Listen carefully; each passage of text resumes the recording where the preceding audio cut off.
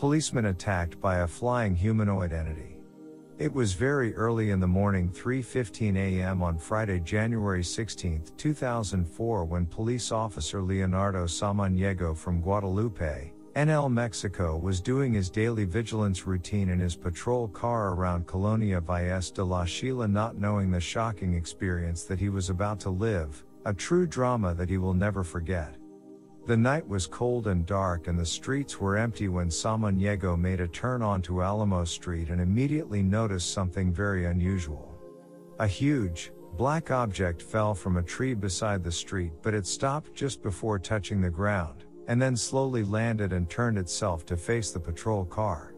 At that moment, Officer Samaniego knew that something was wrong. So he turned on the high beams of his car to try to see what was this black object that fell from the tree was. That's when Samaniego's nightmare began. It was a woman, all dressed in black that fell from the tree but she didn't touch the ground, just remained floating several feet from the ground, declared Officer Leonardo Samaniego.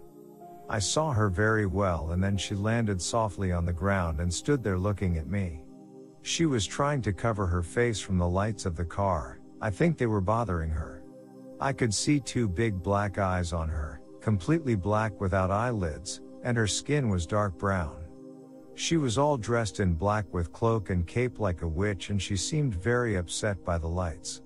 In a matter of seconds, the scene turned into a terrific sequence of events almost like a horror movie, but all too real. The being jumped very fast over two, and onto Samaniego's patrol car trying to get at him while the shocked police officer tried to run away in reverse while shouting desperately for backup assistance on his radio. Stunned officer's eyewitness description. Here is Officer Samaniego's testimonial of these terrifying seconds that for him must have seemed like a never ending nightmare. As soon as I realized it was a kind of woman being, or a witch, very strange standing there trying to cover her face, she threw herself against my car very fast, falling on the car and hitting the windshield. She was flying very fast and it took only a second to hit the windshield glass. I was so shocked by this action that I put the car in reverse and pushed the accelerator trying to get away while requesting backup assistance by radio. According to Officer Samaniego's statement, the female being was trying to grab him with her hands right through the car's windshield. She was separated from the officer by only the few centimeters of the car's windshield. It was at this moment that Officer Samaniego got his best visual look at the being he described as a witch. It was a woman with big black eyes, everything was black, no eyelids. Her skin was dark brown and her expression was horrible. She was furiously trying to get me with her claws while I was running away in reverse calling desperately for backup assistance to any units around. When I finally hit the end of the street, I was so shocked that I covered my eyes and then I fainted. Officer Leonardo Samaniego lost consciousness after he covered his eyes trying not to see the frightening being still glued to the windshield trying to get to him. The severe amount of high stress experienced by him caused him to pass out. Some minutes later, two police units arrived as well as an ambulance that was nearby. When they got to the patrol car, they found Officer Samaniego unconscious. Fortunately, he was not injured, perhaps due to the fact that he never abandoned the car during the incident. That decision may have prevented a tragedy. After several minutes, he regained consciousness and was attended by the paramedics on the ambulance. A TV camera crew that arrived with a police unit recorded Officer Samaniego's first interview just minutes after he felt calmed enough, during the interrogation by his police colleagues. All this occurred at the same place of the bizarre incident. Officer Samaniego stood firmly on his account, insisting that the being was a witch that could fly and attacked him in his patrol car.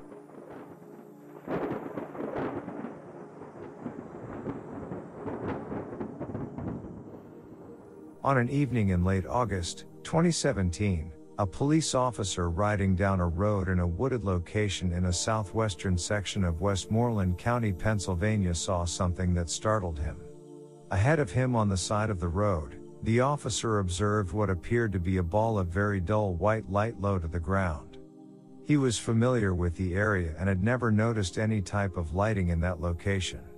As he moved closer and was about 50 yards from the round light, it suddenly rose up or stood up from the ground. It was then that the witness observed something that he couldn't process. The officer told me, it was the weirdest thing I have ever seen. The ball of light was actually the head of a very strange being that looked to be about six feet tall or larger. It was tall and almost skeleton thin. The officer was of the opinion that the creature, when he first observed it, had been lying on its belly on the ground with its head facing toward the road. It then stood up facing the road. In that dark location, he saw the dull light from the glowing head illuminating the upper section of the body of the creature. While the officer watched, the creature turned toward the right. The dull illumination from the head lit up the shoulder area. The creature then turned and faced him, then turned to the left and took off at an incredible speed away towards a location away from the road. As it moved off, the witness could see its arms swinging. The officer indicated that it took off at a speed that you could only call abnormal. It was faster than anything I have ever seen. It was there, then it was gone. The witness assumed that the creature moved on two legs, however, he could not see the lower sections of the body in the dark. The witness described what he saw as standing six feet or taller. The head was about 8 to 10 inches in diameter and shaped like a ball. He said the head was just a ball of light, possibly egg shaped but pretty round. The light emitted seemed to be just a dull white. The light illuminated the shoulders, the top of the chest, and a section of the arms. The witness could not see the hands. The chest looked to be about 18 inches across. The waist appeared to be small, but the arms were abnormally long. The long limbs also looked skeletal with no muscle mass. The skin tone of the body appeared to be dull grayish blue. The witness could not see any facial features. The entire experience only lasted about 10 seconds. The officer was confused as to what he saw and about what could move so fast. He pulled up his vehicle to the location where the creature had been standing and turned on his vehicle spotlight. He looked around the area but saw no evidence on the ground. The officer, after the experience, continued to try to make sense out of what he had encountered but he could not figure it out. I was contacted soon after the incident and we later discussed the incident in detail.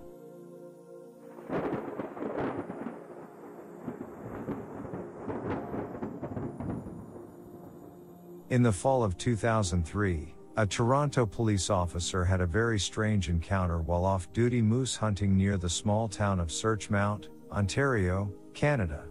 In October of 2003, the witness was with his brother in law, and they had just finished putting out moose bait and issuing moose calls to draw their prey in at around 8 a.m. And one of the animals did make an appearance, but displayed atypical behavior, as if spooked by something. Indeed, the large bull moose ran off in apparent fear. He called in his brother and they went about seeing if they could track the animal or draw it back in. The witness sprayed some moose and heat urine around to lure the animal back and sat back waiting for something to happen. At around 1:30 p.m., something certainly did happen, but this time it was no moose. The witness says, at about 1:30 p.m. I started hearing heavy thumps behind me every now and then. Every time I heard one, I would turn around but there was nothing there. I should mention that it was still raining. The sound of the rain hitting the ground or the leaves was quite loud but these thumps were much louder. They sounded like a stone or something heavy hitting the ground, but every time I turned around, I saw nothing. At about 5:25 p.m. I got off the ATV to stretch my legs and have a smoke.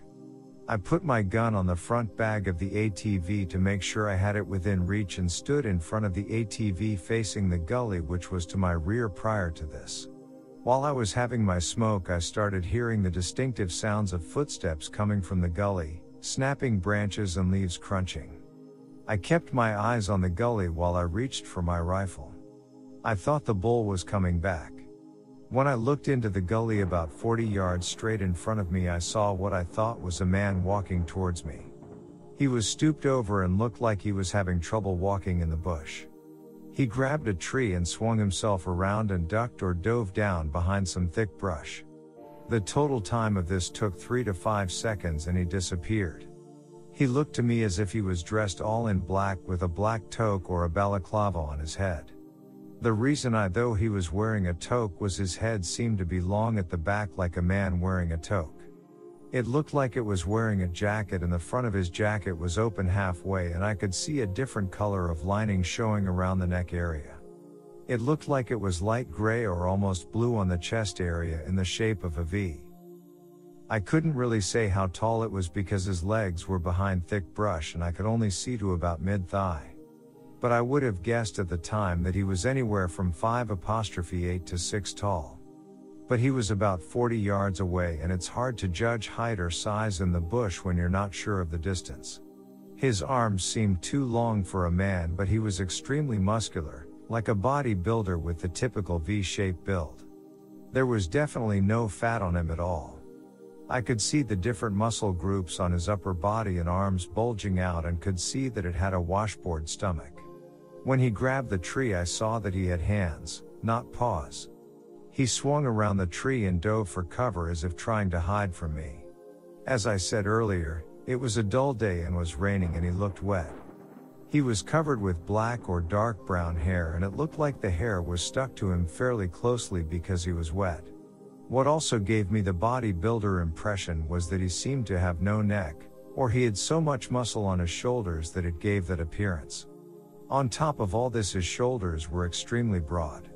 The witness watched this strange figure for a time and also noticed that whatever it was was making a raspy, coughing sound as it moved, and that it began issuing a long, hoarse, sad sounding howl before disappearing into the wilderness.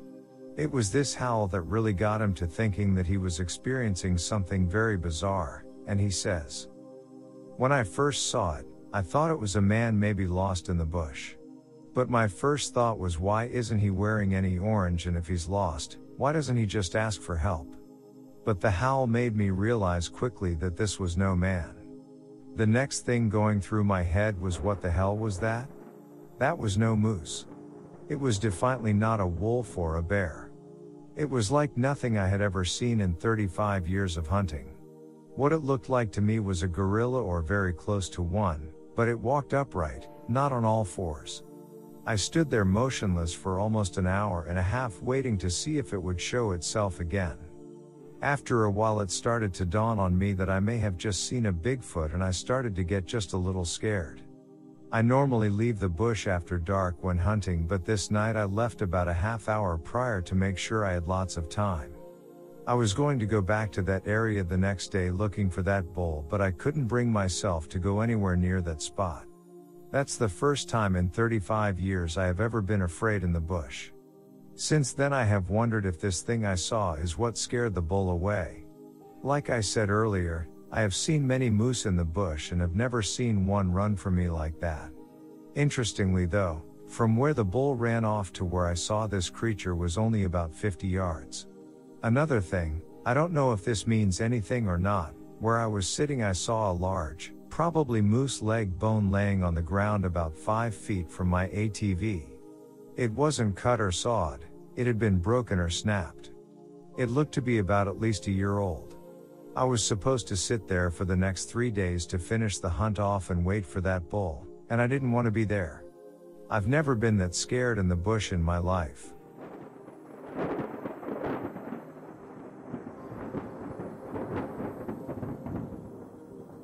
As a cop, I spend a lot of time dealing with things that scare people.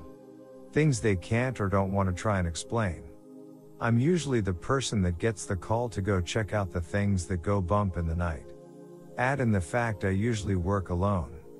In the middle of nowhere. I've ran across and seen some things I can't rightly explain. This was probably the first time in my career I had been in a supernatural situation. It had happened before in life, but cop wise, this was the starting point of what has turned out to be a very interesting career.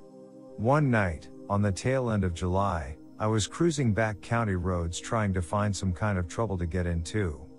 As the only deputy out in the county that night, I had been busy up to a point. Then the calls had slacked off around midnight. I hadn't seen a single soul for the last few hours and decided I would try and be proactive for a bit. The night was hot, I had the window rolled down. I had been driving for a few hours straight with no luck at finding anything. The only thing I had scared up was a few rabbits and a fox. I decided to stop, stretch my legs and answer nature's calling. I pulled to a stop in a particularly empty part of the county. I had driven the road a few times. It was mostly old, abandoned farmhouses and barns. No one lived in the area, and it made a good target for thieves trying to steal copper or whatever they could get their hands on. The left side of the road was nothing but cornfields as far as you could see. It was getting close to harvest time. The stalks were close to seven or eight feet tall and just a sea of green. On the right side of the truck was an old, abandoned apple orchard. I never did get the full story of how the land came to be abandoned. It had something to do with multiple mistresses, multiple wills, illegitimate children and other nonsense. The result of which was 150 acres of fruit trees that had become its own little forest over the 20 or so years it had been unattended. I was sitting in the truck, head laid back, just enjoying my little break. I had closed my eyes for a second. When I opened them, I looked out into the cornfield and made direct eye contact with something. At first, I thought it was a person and it almost gave me a heart attack right there. The thing stood about seven feet tall. Its eyes were human, but they shone in the night like animal eyes. I'm not a weak man, I've done more stupid and foolish things in my time than I care to remember. I've been afraid before and I'm not above admitting it. There was something about those eyes that absolutely terrified me though. So, I did what any normal and sane 22 year old dumb kid would do, and I chased it. I kept eye contact with the thing. I slowly rolled up my window and without braking. I checked out with dispatch over the radio and grabbed my patrol rifle off its mount above me. I remember taking a deep breath and then throwing the door open and jumping out of the truck yelling sheriff's office in the most authoritative voice I could muster. I maintained eye contact for the entire time except right as my vision crossed the A pillar on the driver's side. As soon as my boots touched the dirt of the road the creature was gone. I caught nothing but a blur as a black and brown shape vaulted across the road and ran into the trees. Once again, I let my sense of self-invincibility get the better of me. I kicked the door closed on the truck and took off after it yelling for it to stop. I stumbled into the forest and was hit with the most overpowering odor. It was a combination of unwashed person, body odor, and animal musk. I still remember the smell vividly all these years later. I've been around rotting bodies that didn't impact me as much as that smell. I've never been a particularly fast runner. I've not ever cared much for it and always been more of a short burst kind of guy. Whatever I was going after was fast though. It didn't dawn on me until much later that it was probably just playing with me leading me further into its miniature forest. I would catch a black blur moving off the in the distance. I'd hear a branch break or a sound off to the side. I stumbled around like this for a good 15 minutes before my bravado and adrenaline wore off and I decided I should head back to the truck because I was alone and scared at this point. The whole way back I had that itch between my shoulder blades like I was being watched. Like I was the intruder in someone else's domain. I made it out of the trees and back to the truck. It was in the same place I had left it, but the driver's side door was open, the dome light on, Vehicle turned off with the key still in the ignition. I knew I hadn't locked the door, but I know it had left it running. I didn't often turn it off during my shift. I checked the truck making sure it was empty. That same smell filled the cab of the truck. It was in the seats and carpets like something had sat in my seat and just wallowed around in it. I started the truck and got out of there as fast as I could. I didn't tell anyone about that encounter. I just told dispatch I had thought I had seen something, that it turned out to be nothing and left it at that. Around a year later during one of the few times I rotated to days and had a partner to work with. I was driving around on the opposite side of the county.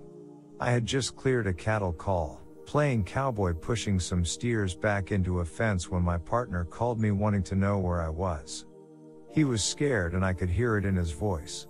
I let him know where I was, and he asked if I could meet him down on the southwest part of the county. There was an old gin down there.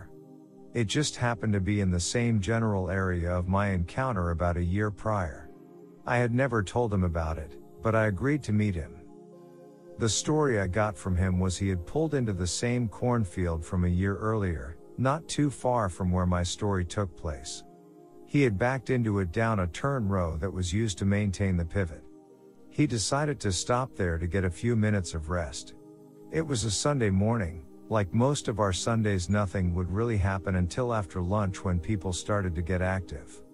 My partner had dozed off for a few minutes and had been woken by his truck violently being shook back and forth with a dust cloud dissipating around him. He first thought it was me just messing with him. When he got out to check, he told me he smelled a nasty animal odor. Not finding anything else out of the ordinary, he went to get back in his truck and drove away. He drove down to the gin, got out and walked around the place to make sure no one was there. When he went to go get back in the truck, he noticed the handprint on top of his window. Now, anyone who has ever driven a truck down a dirt road will tell you handprints on vehicles fill with dust and stand out. He saw the print, freaked out, and called me. Right over his head on the top part of the door and the cab of the truck was the biggest handprint I've ever seen in my life. I have average hands for my size. It was easily bigger than two of my hands. I told him my story, he described the smell nearly the same as I did. Neither of us ever found out what was living down there. I heard a few more stories over my time there. I even ran across one guy who was convinced it was the West Texas version of Bigfoot. I would answer a few suspicious persons' calls around the area over the next few years. I always kept an eye out but never had another encounter like I did that night though.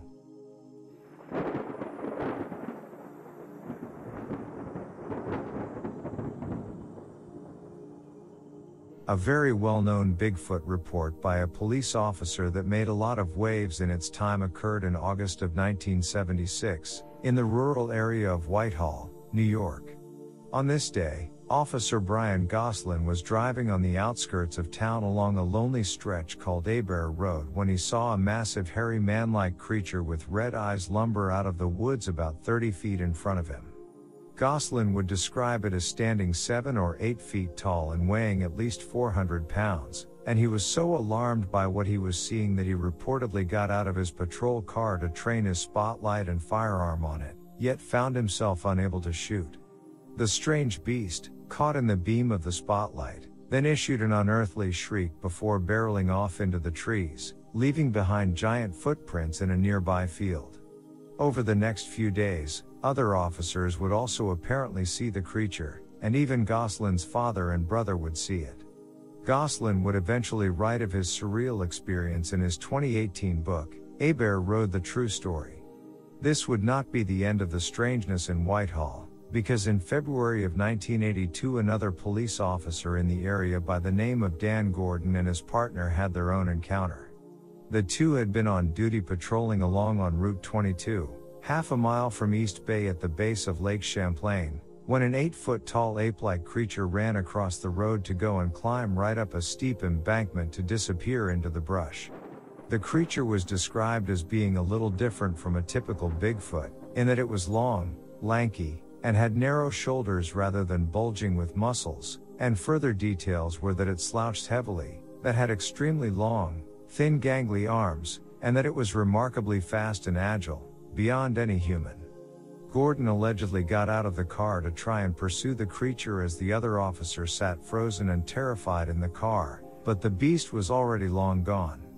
The two would keep their experience to themselves for years, only going public with it in 2003, after which Gordon was interviewed about it extensively in news stories and TV programs, including Monster Quest and Mysterious Encounters, and the report appeared in the book Bigfoot Encounters in New York and New England.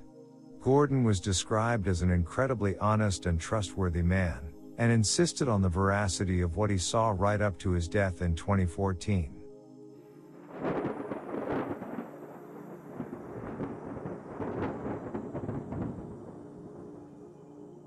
From the Bigfoot Field Researchers Organization, BFRO, archives comes a report from 1970, in Jefferson Parish, Louisiana.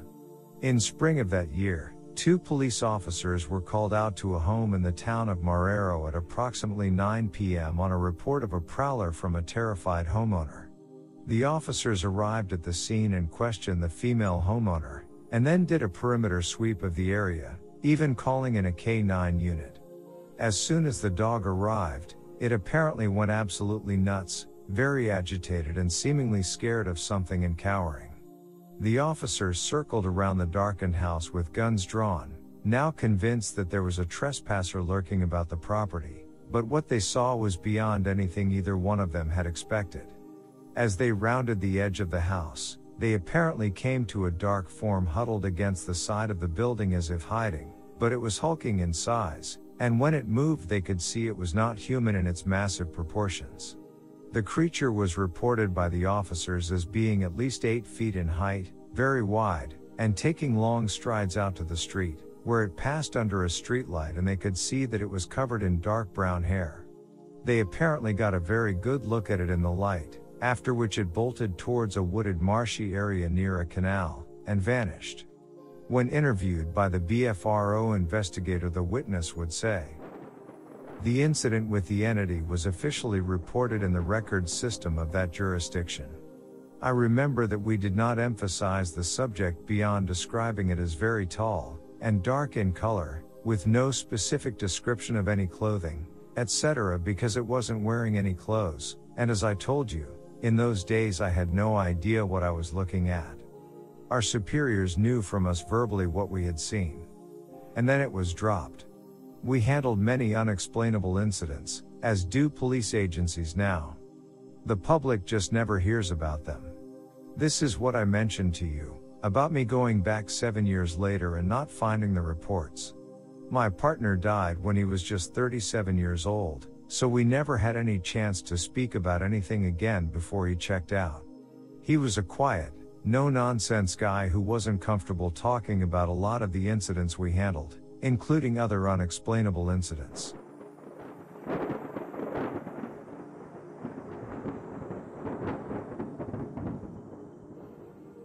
I am a police officer. I was traveling northbound on FM 1008 and there was an 18 wheel truck in front of me at the time and we were traveling at approximately 55 miles per hour. I observed a large creature in an upright position run out of the tree line on the east side of the highway. It ran in front of the big truck in front of me. The truck braked and swerved to the east side of the road and the creature was unharmed and cleared the road and ran into the tree line on the west side of FM 1008. From what I could see this creature appeared to be as tall as the cab of the 18 wheeler, maybe 8 feet and was very bulky and covered in hair. I estimated the speed at which it was running to be around 35 miles per hour with extremely long strides. There are other police and fire services members in the Kenefick area that have seen this creature, and I have personally heard numerous stories of sightings. If I had not seen firsthand, I would not have believed it myself. Investigator Daryl Colyer would do an in-depth follow-up interview on the case with the witness and uncover some further details, of which he says, it was the witness's perception that the figure was tall and covered with grayish hair. The witness was certain that the figure was a biped and moved extremely fast, perhaps 30 to 35 miles per hour. The witness could not recall much in the way of detail, the event was estimated to have lasted only a few short seconds. The witness was impressed by the height of the figure. Using the cab of the 18 wheeler as a gauge, the witness estimated the subject's height to be possibly as much as 8 feet. Because of the figure's speed, overall size and height, and the fact that the subject nearly collided with the 18 wheeler, the witness categorically ruled out the possibility of a hoax. In retrospect, the witness wishes that he had slowed down or even stopped to get a second or better look. He also wishes that he had flagged the big rig down somehow to get the truck driver's perspective. However, the witness told me that what he saw greatly intimidated him, and at the time, he had absolutely no plans for stopping. He carried a .45 semi-auto handgun with him, but the sidearm gave him little or no security after having witnessed such an incident.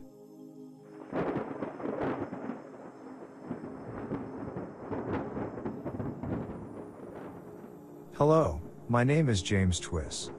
I am a police officer on the Pine Ridge Reservation. I am passing on information regarding the rash of sightings of a tall man or Bigfoot on the Pine Ridge Reservation. During one of these sightings, I had our department's thermal imaging camera and along with about six other officers, did in fact pick up a large heat signature on the camera. Unfortunately, we don't have a recorder yet for the camera so we weren't able to record it. We did watch as it moved away from us down a gully and it was missed by the other officers as they tried to find it using their flashlights. It is hard to explain as it must have already been past the officers before they arrived on scene. We watched it go into the creek area which runs through town. We heard a flurry of dogs barking but wasn't able to locate it. Also to set the record straight, the first two sightings was called in as a tall, 10 to 15 feet tall, man, who appeared to be wearing a stovepipe hat and long coat. It was reported to be peeking into a apartment complex commons room where there were several witnesses.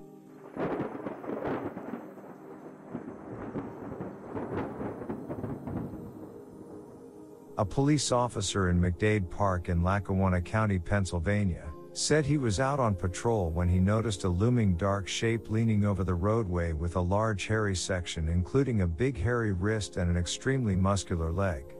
The officer, who claims he is an 18-year veteran of the force, says of his outlandish encounter, I was driving in patrol toward McDade Park in Scranton, Pennsylvania.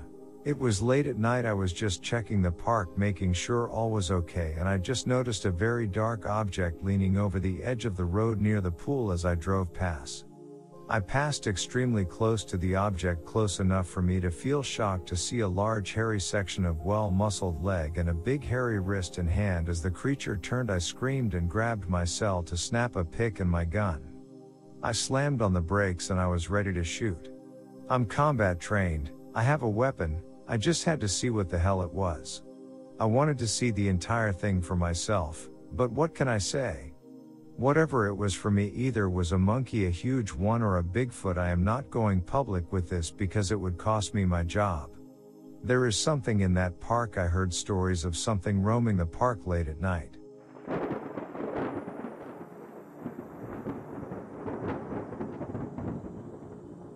The ball of light was actually the head of a very strange being that looked to be about six feet tall or larger. It was tall and almost skeleton thin. The officer was of the opinion that the creature, when he first observed it, had been lying on its belly on the ground with its head facing toward the road. It then stood up facing the road. In that dark location, he saw the dull light from the glowing head illuminating the upper section of the body of the creature. While the officer watched, the creature turned toward the right. The dull illumination from the head lit up the shoulder area. The creature then turned and faced him, then turned to the left and took off at an incredible speed away towards a location away from the road. As it moved off, the witness could see its arms swinging. The officer indicated that it took off at a speed that you could only call abnormal. It was faster than anything I have ever seen. It was there, then it was gone. The witness assumed that the creature moved on two legs, however, he could not see the lower sections of the body in the dark.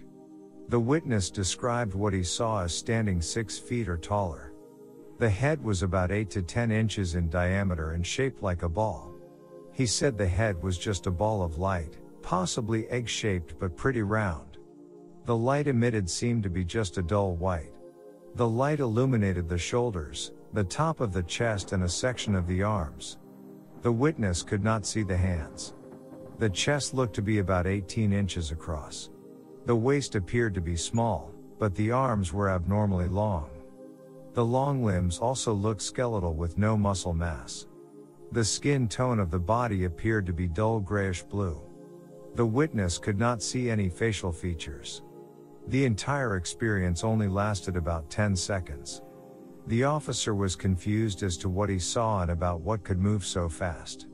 He pulled up his vehicle to the location where the creature had been standing and turned on his vehicle spotlight. He looked around the area but saw no evidence on the ground.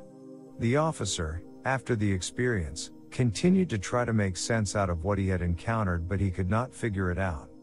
I was contacted soon after the incident and we later discussed the incident in detail.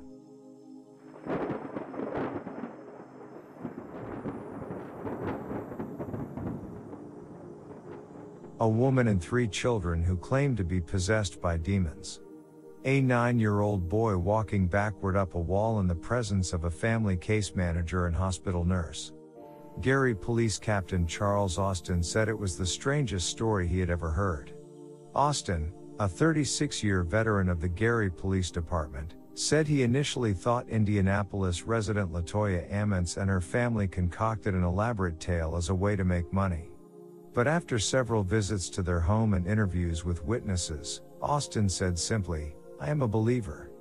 Not everyone involved with the family was inclined to believe its incredible story.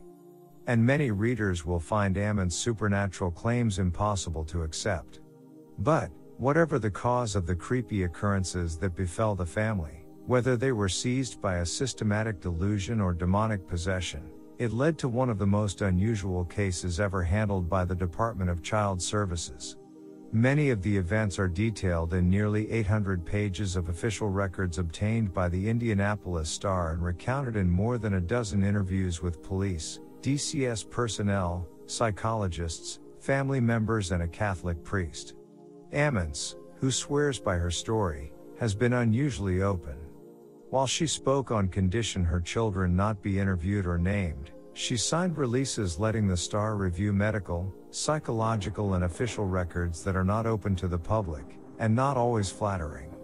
Furthermore, the family's story is made only more bizarre because it involves a DCS intervention, a string of psychological evaluations, a police investigation, and, ultimately, a series of exorcisms.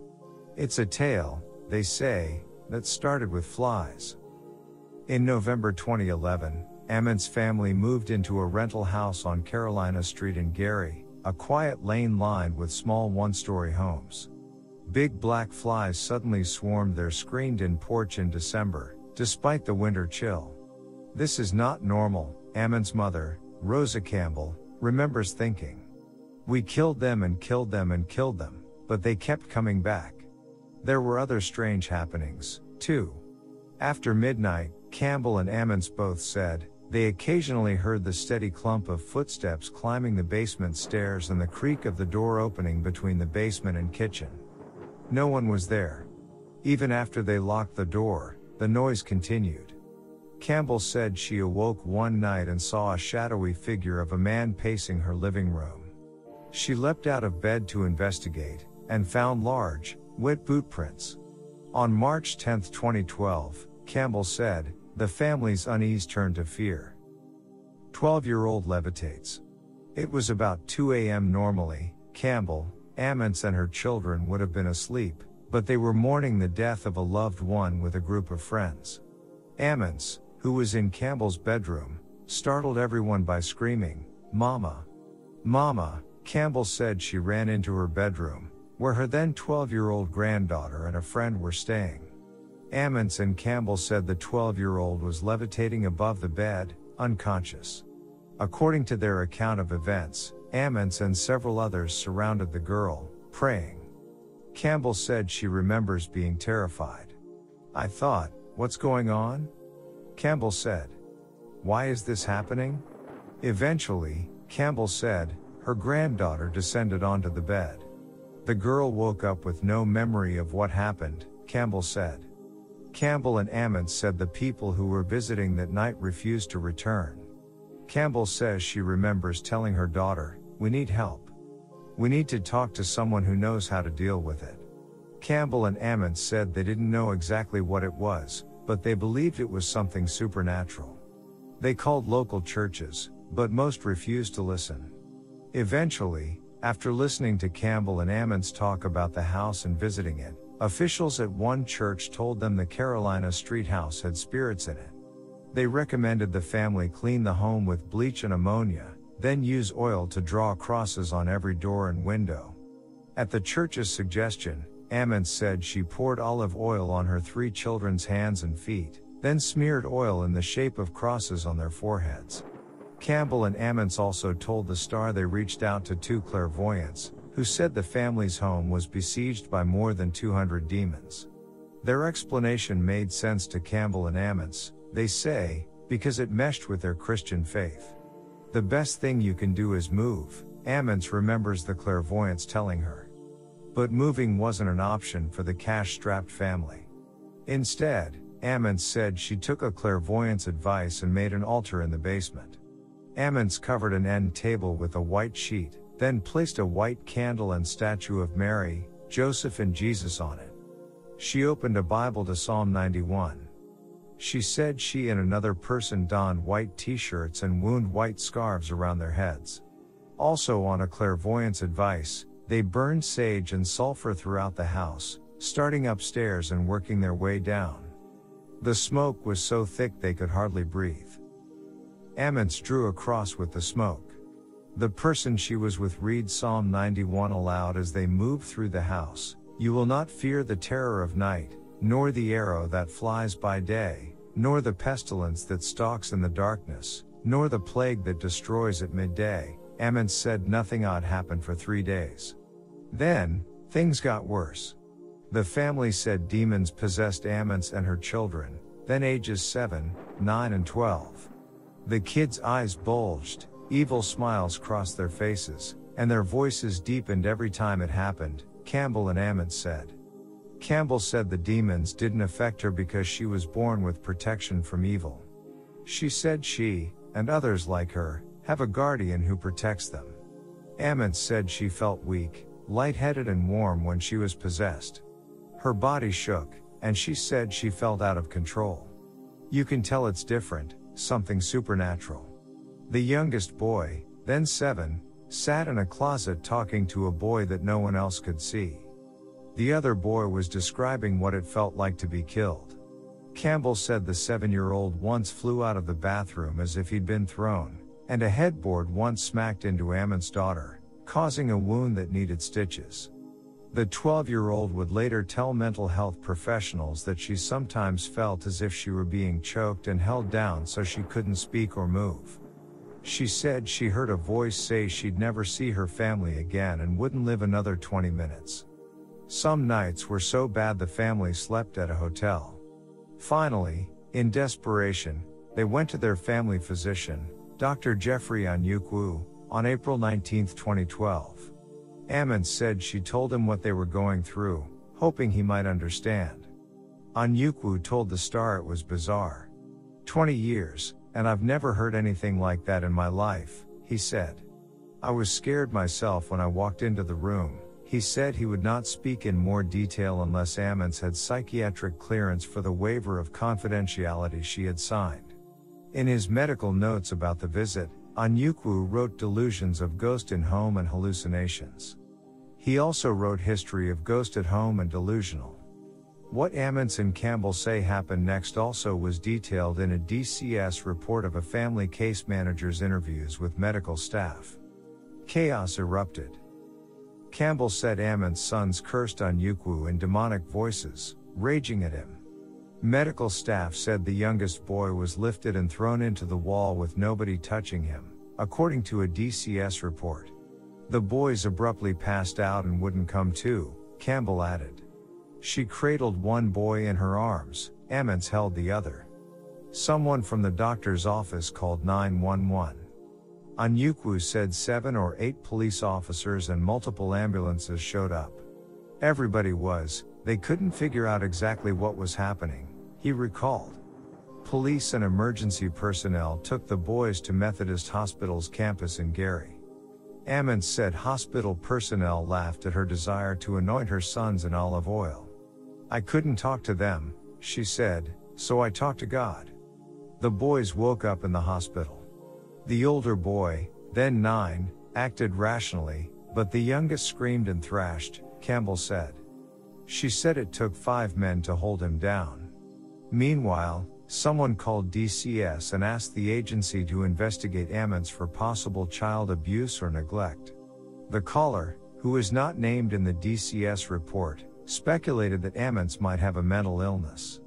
The person believed the children were performing for Ammons, and she was encouraging their behavior. DCS family case manager Valerie Washington was asked to handle the initial investigation.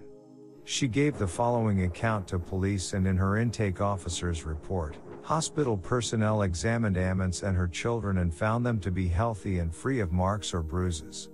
A hospital psychiatrist evaluated Ammons and determined she was of sound mind. Washington interviewed the family in the hospital. While she spoke with Ammons, the seven year old boy started growling with his teeth showing. His eyes rolled back in his head. The boy locked his hands around his older brother's throat and refused to let go until adults pried his hands open. Later that evening, Washington and registered nurse Willie Lee Walker brought the two boys into a small exam room for an interview. Campbell joined them. The seven year old stared into his brother's eyes and began to growl again. It's time to die, the boy said in a deep, unnatural voice. I will kill you. While the youngest boy spoke, the older brother started head butting Campbell in the stomach. Campbell grabbed her grandson's hands and started praying. What happened next would rattle the witnesses, and a summit would offer not only evidence but proof of paranormal activity. According to Washington's original DCS report, an account corroborated by Walker, the nurse, the nine year old had a weird grin and walked backward up a wall to the ceiling. He then flipped over Campbell, landing on his feet. He never let go of his grandmother's hand. He walked up the wall, flipped over her and stood there, Walker told the Star. There's no way he could have done that. Later, police asked Washington whether the boy had run up the wall, as though performing an acrobatic trick. No, Washington told them. She said the boy glided backward on the floor, wall and ceiling, according to a police report. Washington did not respond to the star's request for comment. But she told police she was scared when it happened and ran out of the room. As for Walker, Washington said, he ran out of the room with me. We didn't know what was going on, Walker told the Star. That was crazy. I was like, everybody gotta go. According to Washington's report, they told a doctor what happened. The doctor, who did not believe them, asked the boy to walk up the wall again. Walker said he told the doctor he doubted the boy could repeat the feat. This kid was not himself when he did that, Walker said. The boy said he didn't remember what happened and couldn't do it, according to Washington's report. Walker, who said he previously believed in demons and spirits, thought the boy's behavior had some demonic spirit to it but also was the result of a mental illness. A police report quoted Washington saying she believed there could be an evil influence affecting the family. To be continued.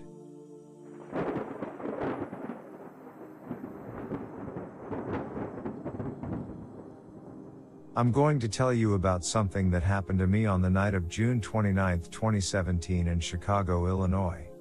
I am reporting this of my own volition and I am wanting to stay anonymous due to the fact that I work for the Chicago Police Department and do not want anybody else to know that I submitted this report. I have been with the Chicago Police Department for over eight and a half years. The only people who know that I submitted this are my wife, my son who encouraged me to submit this and my partner who also was witness to this incident. I want you to know that I am of a sound mind and health and I don't want any publicity other than just reporting this incident. I also want you to know that I am not prone to fits of fantasy or hoaxing anything that I seen especially while I am on duty. On the night of June 29, 2017 at approximately 11:15 p.m. my partner and I were on routine patrol and approaching the intersection West 81st and South Throop in the Auburn Gresham neighborhood of Chicago, Illinois. We were flagged down by a group of a people who were pointing up to the top of an apartment building that was on the corner. We pulled over and they immediately started telling us to look up at the building. Many of the people were very frightened and were very excited about seeing what they had seen. My partner and I look and see a large creature that was approximately six to six and a half feet tall and was very thin. If it had been a human, it would have been emaciated. This thing was standing on top of the building and had what looked like a pair of very large wings that extended out at least 8 to 10 feet from tip to tip. No discernible features, it just looked like a dark black shadow with wings. My partner and I both thought it was somebody trying to jump from the building and maybe wearing a costume of some kind. When we both shined our flashlights to try to get a better look at what we were dealing with, this thing took off into the air and flew away. As this creature flew away, headed in a southern direction, something sounding like a scream came from it and within the matter of about five seconds this creature was gone into the night. The people who initially flagged us down had said that many people in the neighborhood had seen this thing for the previous two nights and this just happened to be the only time that it was seen in a stationary place.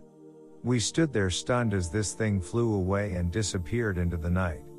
We stood there and talked to the group of people who flagged us down, taking information down and any information regarding previous sightings from the nights before. We initially were doubtful about filing a report because we thought we would be made fun of for seeing little green men. We finally filed a report as we did not want to violate protocol. Nothing was ever said about the report being filed and as of right now it's been business as usual. We wanted to file this report because after I told my son the story he went online and showed me that this is not the only sighting of something similar being seen in the city.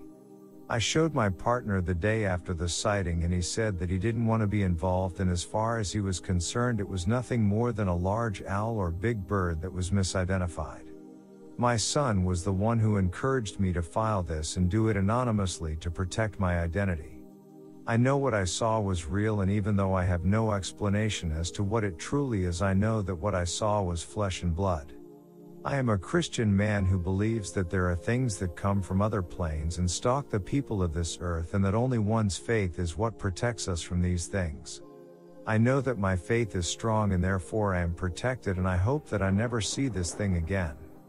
Thank you very much for your time and have a blessed day.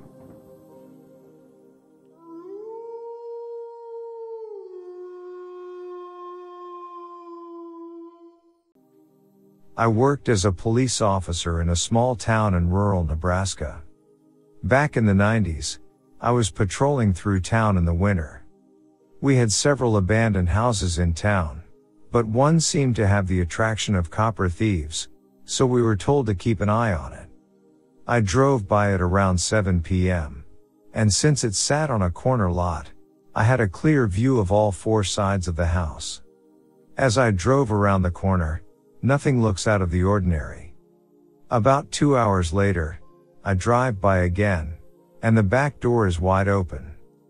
I know that the back door was not open when I drove by it earlier. Looking at the snow on the ground around the house, there were no footprints. So I thought what the hell?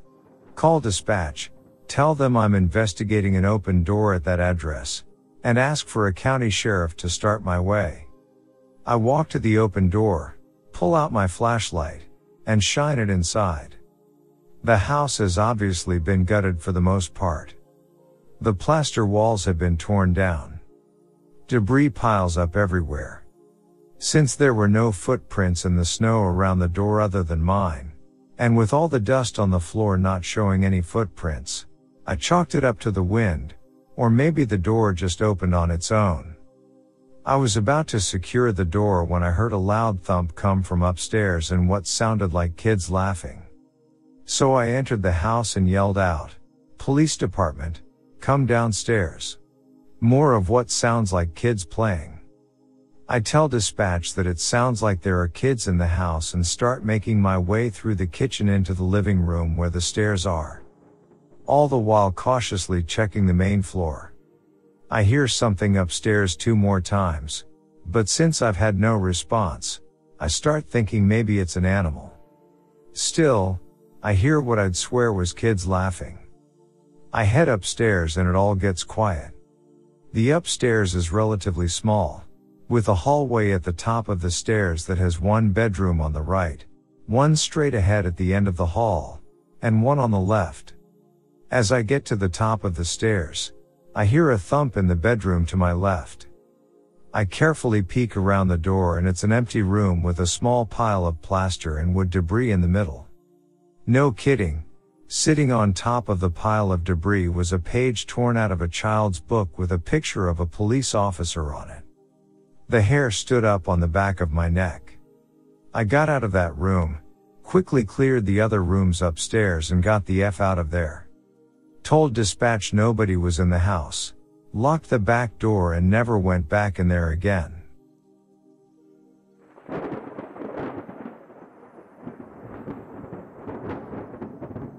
A local reporter named Bob D would always show up at any major police activity from the police scanner. Big car wrecks, fires, anything worth reporting in the local paper. Everybody on the force knew Bob D. He was around at least once or twice a week at various police activities. Bob was a bit of a joker himself. He would mess with people by flicking behind their ears. People would react to the flicks, thinking it was a bug, only to turn around and see it was Bob jerking around. Everybody liked Bob. Unfortunately, Bob had bad lung cancer and died pretty suddenly. His wife buried him, Against his wishes, he wanted to be cremated for the next couple of weeks. After his funeral, people kept talking about seeing Bob at car wrecks, fires, all the same stuff he used to report on. There were 20 to 30 reports like this from civilians and members of the force. My uncle didn't buy it. Until the night he and my aunt arrived at our door, gun drawn and as pale as paper. We asked him what the hell happened. And he had to sit down, take his breath, compose himself, and start to outline what happened. Note. This is a guy that I never saw get rattled by anything. He said. My aunt and he were sitting on the couch in their house watching TV. My uncle kept scratching at his ear, over and over. Finally, my aunt asked him what the problem was, and he turned around just in time to see their bedroom door open. Bob D was standing there in the doorway. Clear as day. My uncle jumped up, cussed her something, and got my aunt's attention, who turned to see him there too. As soon as they both made eye contact with him, Bob smiled, turned, walked across the living room and out their front door. He closed the door behind him and was gone. My uncle got control of himself and ran outside. Gunner went looking for Bob, but he was gone. At that point, they ran over to our place. We went over there and didn't see anything, but my aunt and uncle stayed at our place that night. At work the next day, all the guys on the force were giving my uncle lots of we told you so. People around town said they saw Bob D show up at police scenes for at least another two thirds months. My dad saw him in our darkroom in our basement with a friend. He was flicking their ears in the dark. During the third month, people that saw him kept saying he was looking worse and worse.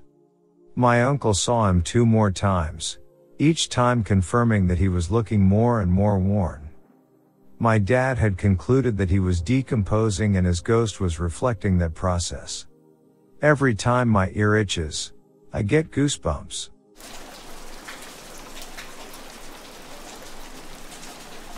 It's not my call, but my dad served for 25 years.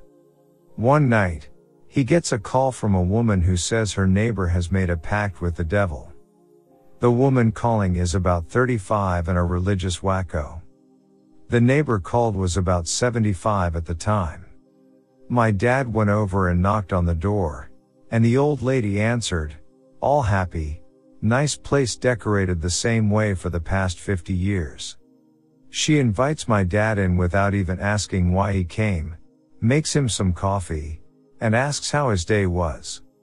Naturally, at this point, my dad was wondering what the heck the call was about, but it came clear soon. At some point, my dad realizes he isn't the only person she is talking to, and that she thinks her apartment is full of people. My dad thanks her for the coffee, and she tells him to come back anytime. The whole time she was talking, he was writing down the names of the people she was talking to, and doing some research on her when he got back. It turns out she was talking to family members who were all dead. She had a daughter, three sons, a brother and a husband. All were dead, and she had no family or friends. She hadn't spoken to another person in years. Her groceries were delivered, and she rarely left her apartment. Over the next 19 years, my dad took care of her. My sister and I came over all the time and just sat and talked with her. She even taught me how to cook. Over the years, she stabilized and stopped talking to her deceased relatives. She just needed people to live with. She actually lived till she was 94 and died in the guest room of my parents' house since it had become harder to take care of her from a distance as she got closer to the end. She was like a grandma to us.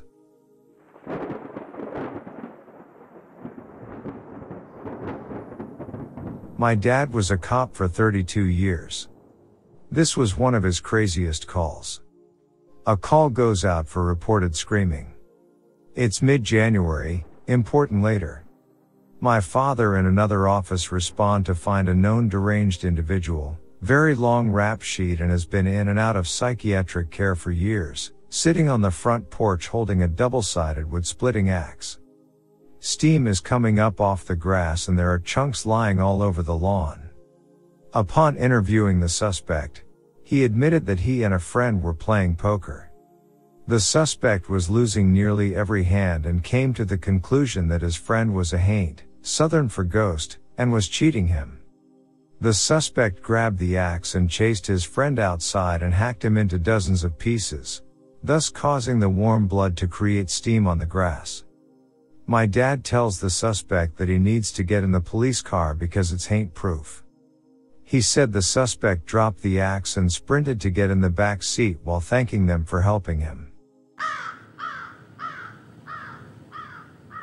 I'm a police officer. I was called to a residence out in the boonies. This was in Wyoming, so the boonies are really the boonies. At about 11 p.m. about suspicious activity. When we get there, we are told by the family living there that there are very strange screams coming from a creek area about 1,000 feet away.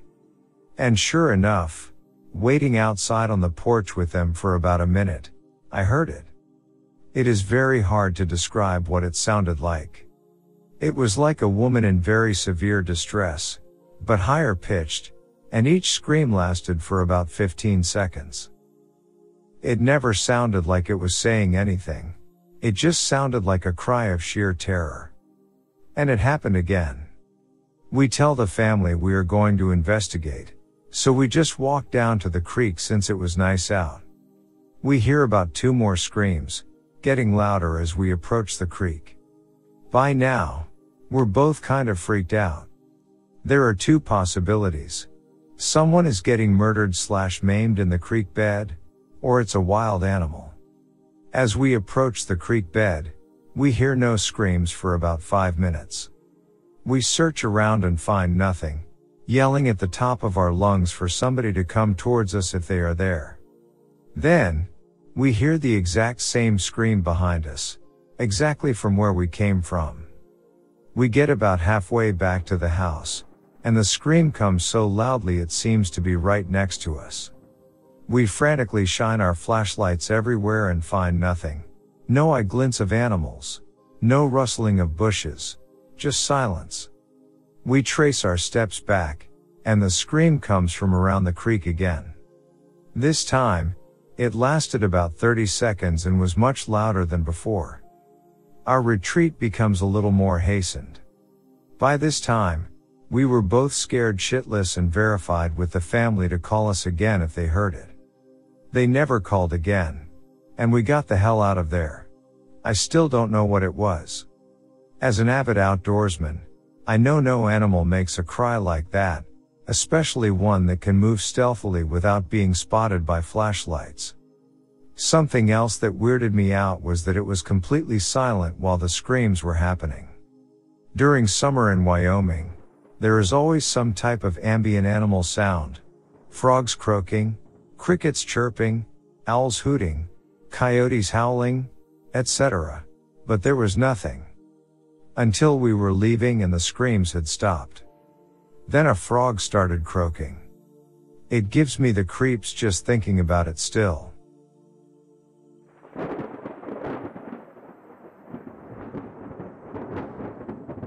Back when I was working as a cop on a military base, I loved working the night shift.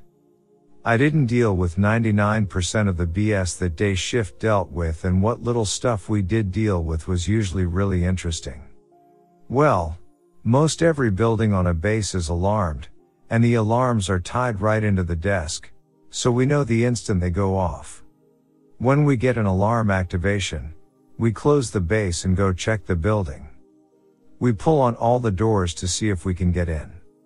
If we can, we go into the building and secure it, checking all the doors and corners to see if someone set the alarm off. Well, one night I was on patrol with my alpha partner, and we got called to respond to an alarm activation at the elementary school. So we go, secure the building, and call in that the building is all secure. No problem. Keep patrolling. So about 15 to 20 minutes go by and we get another alarm activation. We get back out there and check, and now there is a maintenance door open that leads into a boiler roomish thing. Nothing in it, so we close it, lock it, and get out. Another 20 minutes, and another alarm. We respond. All the doors are still locked and we can't get in. The maintenance door is locked. Call it the all clear. This time, my buddy and I sit on opposite sides of the school and watch to see if someone is coming and yanking the doors really hard to set the alarm off. We sit there and watch. Nothing happens, and right as we're about to leave, another alarm goes off. We informed the desk that we'd like the building manager on site to help us secure the interior and let us in. This is now like 3 a.m. The building custodian shows up and we start doing a walkthrough, checking all the classrooms and all the maintenance rooms. And that's when we see one of the maintenance doors open with the lights on in the room. Now, this room is literally the size of a closet. We walk down there and look in. No one is in it and that door is locked when it closes. We looked inside and discovered a single footprint of a small child's bare foot made of water, left foot, to be specific. The living hell out of us because no one reported a missing child and the entire building was clear and still locked up. We checked every inch of that damn place, literally a three hour deep sweep, including ceiling tiles, and no one left or entered. The ever loving crap out of us. And to this day, my partner refuses to go into that school. Speaking of which, schools are really spooky when they're empty. A police officer is present. One evening about eight years ago, it was pouring outside and we got a call from an elderly woman, seems to be a common theme in this thread. She called in and said that she was hearing footsteps in her house and she thought there was a ghost inside because she regularly heard the sound of someone walking upstairs. But she lived alone. We went just to check it out and make sure that everything was okay. She stayed on the line with the 911 operator because she was frightened.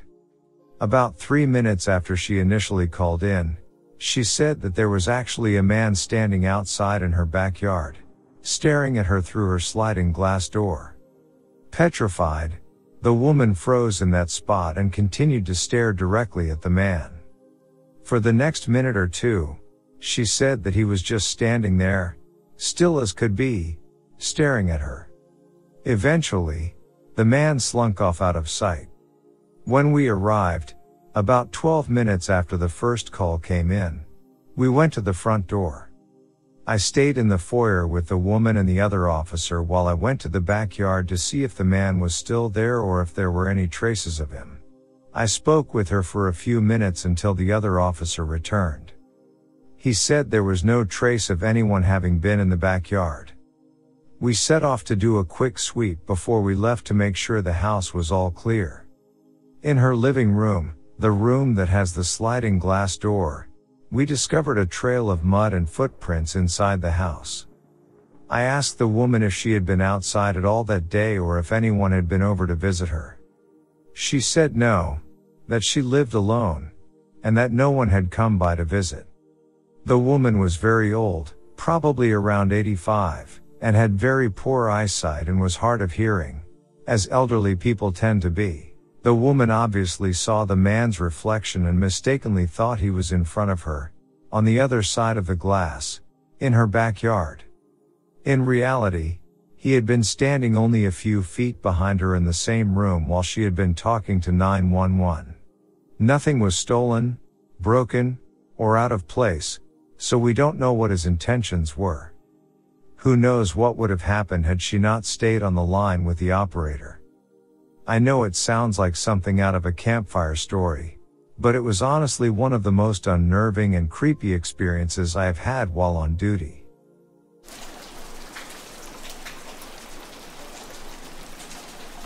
My grandpa was a police officer back in the day. He worked on murder cases and did detective work in his later career. But this late night, he was responding to a call of suspected shots fired at an old abandoned house. My grandpa tells the story something like this. He and his partner were the closest to the house of everyone who received the dispatch call, so they made it there first. When they reached the house, they found the gate through the backyard forced open, so they followed through. They had fired, so they had their weapons drawn. As they approached the house, there was one unarmed man attempting to enter the house, which was locked. The man fled while my grandfather's partner chased after him. Here's the creepy part. My grandpa looked through the window of the house, thinking that maybe that guy was trying to get to someone on the inside. When he looks in, he vaguely sees someone standing and looking directly at him. My grandpa raises his pistol and says, Police, don't move. Simultaneously, the man inside appeared to also raise his pistol. My grandpa says, now, I have never had someone draw his weapon on me. And I began to think, what if I don't shoot before he does? And the adrenaline was pumping. So, he says, drop the weapon or I'll be forced to shoot. The man stays still. Ridiculously still. My grandpa takes cover on the right side of the window and radios in for his partner, who has lost the man on foot. Before his partner returned, he popped back out from the right to try to advance, expecting the man to have gone away and found a place to hide. So, with his weapon drawn, he jumps out and looks inside. But when he looks into the window with his weapon drawn, there he is, still hazy and dark, and pointing his weapon directly at him. It's silent for what seems like forever. My grandpa shouts again, drop the weapon and get down on the ground. With adrenaline pumping, my grandpa says that at this point he began to believe it was a ghost because of how still it was. Then, he sees that the assailant is wearing a badge. This freaked me out, he said. Had my partner made it inside and was playing with me? Was this man impersonating an officer? Once more, he said, drop your weapon and get on the ground. And motioned with his pistol. The ghost man also motioned with his pistol. And at this point in the story, my grandpa says it best. It was a cotton picking mirror. I got myself worked up over my own damn reflection. And that's the story of how my grandpa almost crapped himself over his own reflection.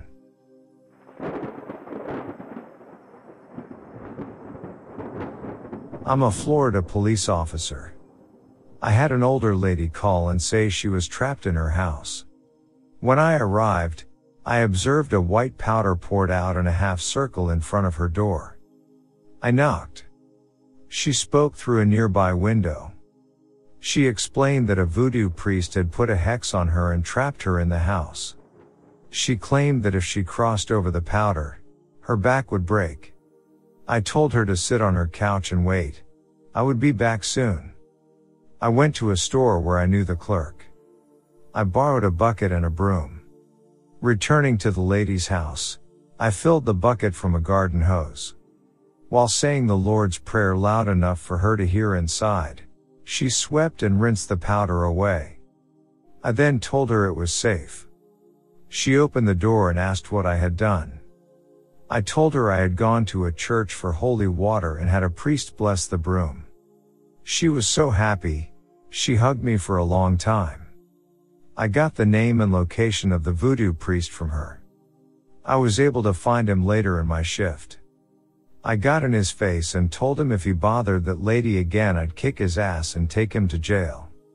We will not allow harassment, scamming, or preying on the elderly.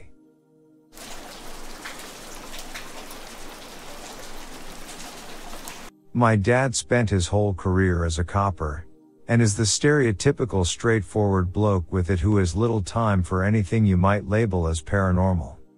That said, he describes one event from about 20 years ago that he can't explain. One late afternoon in autumn, he was patrolling with a colleague in Newbury, Berkshire, UK, when they were radioed and asked to check out reports of a fight on the rural outskirts of town.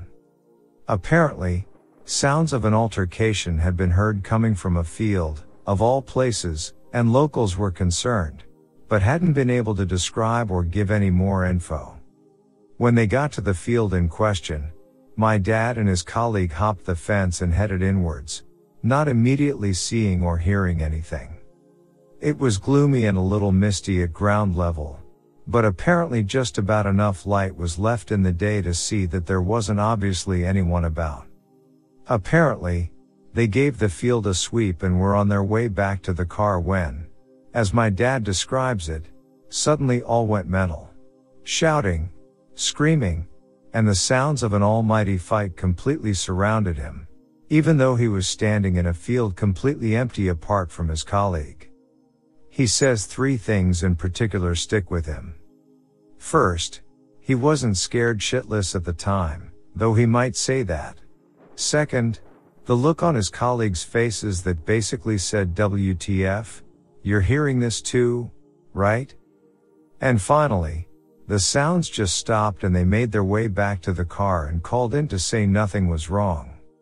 When pushed, he admits it felt like he was in the middle of something significant, and that he thinks he felt, not just heard, the fighting around him, and that, with hindsight, he was more frightened after the event than at the time. He would never describe this as paranormal himself, but to me this always sounded like a replay type event people talk about, and subsequently learning about the Civil War history of the specific area in question backs this up, for me at least. I've not heard of other accounts of similar stories from the area, but I haven't looked that hard to be honest.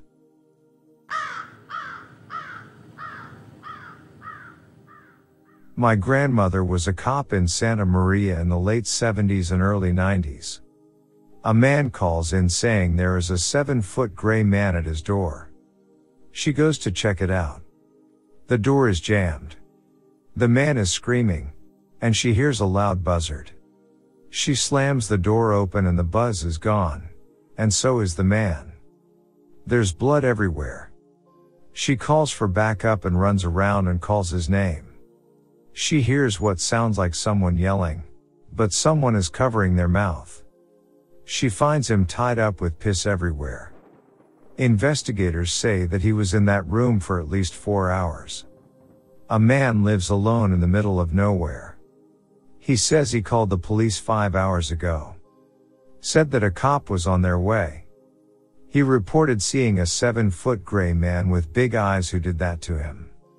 No footprints, no trace of any kind of invasion. My grandmother lost four hours somehow. The guy ended up killing himself a few years later, leaving a note behind. Warning my grandmother that they are after him. And thanking her for rescuing him. Crazy.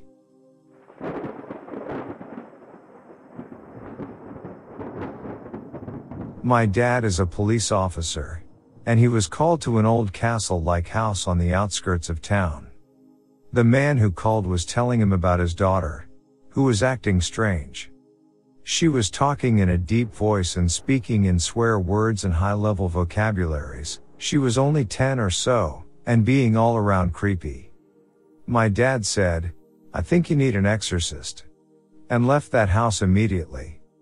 He's been a police officer for 12 years and he says that was the most scared he's been and he's seen people who have blown their brains out with a shotgun and people decapitated by a train.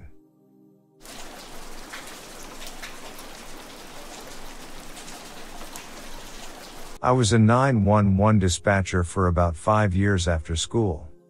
One night, I got a call from a lady at a residence in town. 911, what is your emergency? Is this the police? She breathed. She was freaking out. Heavy breathing, trembling voice Eve taken many calls like this, and from the sound of her voice, this was not going to be a routine call. I sat up straight and my heart started to pump faster. Yes, mom. What is your emergency?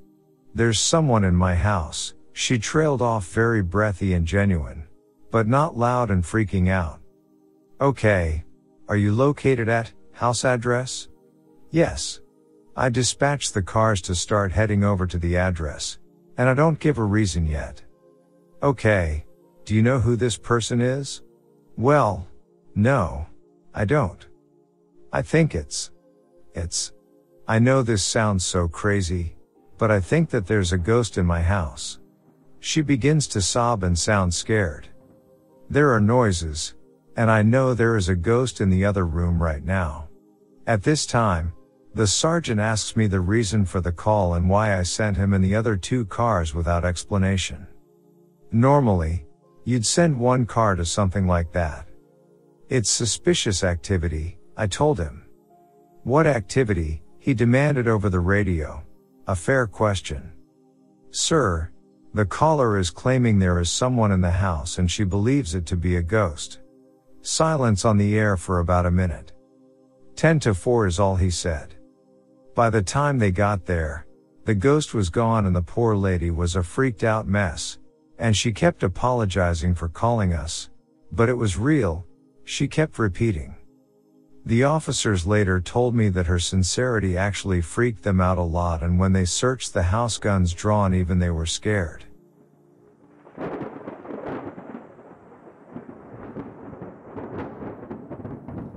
We got a call about trespassers at an abandoned hospital during the daytime. There was on-site security who kept it secure even though it was shut down. They swore they heard footsteps and talking on the second floor over the past few days. They locked down the entire perimeter and called us out there. There was no way out. We went in there with six officers and started from the seventh floor and systematically checked every single room down to the bottom floor. There was no power, so we were lucky that it was still daylight and there were a lot of windows. It was an older hospital, so they left old CRT monitors from the 1980s and 90s in there. It was pretty eerie and reminded me a lot of the first scenes of The Walking Dead. We cleared down from floors 7 to 5 with no problem. Once we hit the fourth floor, things started getting weird. This was the hospital's storage area. Instead of the big spacious rooms, it was super cramped with cinder block walls. There were chain link cages all over the place with old locks on them. It seriously looked like a horror movie prisoner area where they locked victims up. It was also pitch black. The hospital was so big that we worked in two man groups on each floor, but naturally split up as the floors opened up more. The third floor was a mental ward area, so the padded walls and pitch dark rooms started to get me a little nervous. The second floor was by far the worst. It was the surgery ward. There were no windows. Again, it was pitch black, and there were large, eerie operating rooms all over. In the middle of some of the rooms were large metal slabs where they would operate on people. In my adjoining rooms, they had huge pegboards where they stored the surgery power tools. How did I know it was power tools? They had marked the outlines of various drills, saws, and other painful looking devices. It was kind of freaky thinking about how many people had died in those rooms when they couldn't save them. I was definitely nervous clearing those rooms solo in pitch black with only a flashlight. We eventually cleared every single room on every single floor. And found nothing. The security guards swore up and down that they always heard talking and footsteps down the halls. We pretty much swore off that place and said not to call us anymore. When I was in high school, before cell phones were common, my friends would come over to my house one night to pick me up. We had made plans at school for them to pick me up at 7 p.m. At 6, my parents said I had to come with them to do something. And I totally forgot to call my friends and tell them. They came to my house at 7 p.m. and called the house phone. No one answered. There were four of them in the car. They all told us the exact same story. They said that they were about to pull out of my driveway but they saw someone peeking through the blinds from the bedroom on the top floor right. That was my room, so they assumed that I was messing around. Five more times, they said that someone would peek through the blinds, and a couple of them said they even saw the person's eyes. We got home at probably 7, 10, minus 7, 15, and they were still in our driveway. One of my friends came over and said they thought I was messing with them. Then they asked me, so, who's staying in your room? I told them that no one. So they asked, who is home at your house right now? Again, I told them, no one. Their stone cold faces then told me what they had seen repeatedly over the last 15 minutes. At first, we all thought there was a burglar in the house or something, so we called the cops. They came over and inspected the house. There were no signs of a break-in. Nothing had been touched or stolen. Our house had an alarm on it, so there is no way someone could have come into the house without setting off the alarm. My family, my friends, and the cop all kind of stood around for a few minutes, trying to make sense of the situation. My friends swore up and down, and still do, that they couldn't have imagined what they saw. All four of them saw the same things, and it wasn't particularly a dark night, so their eyes wouldn't be playing tricks on them. To this day, none of us can make sense of the situation.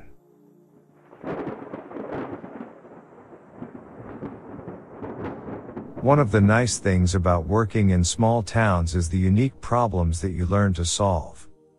One such problem belonged to a sweet little old lady who lived in a big old mansion over in the old section of town.